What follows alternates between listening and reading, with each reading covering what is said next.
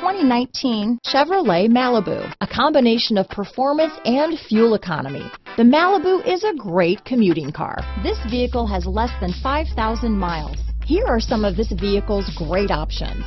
Traction control, dual airbags, alloy wheels, power steering, four-wheel disc brakes, center armrest, rear window defroster, compass, electronic stability control, power windows, trip computer, heated front driver and passenger seats, heated front seats, security system, remote keyless entry, brake assist, panic alarm, overhead console, tachometer. Is love at first sight really possible? Let us know when you stop in.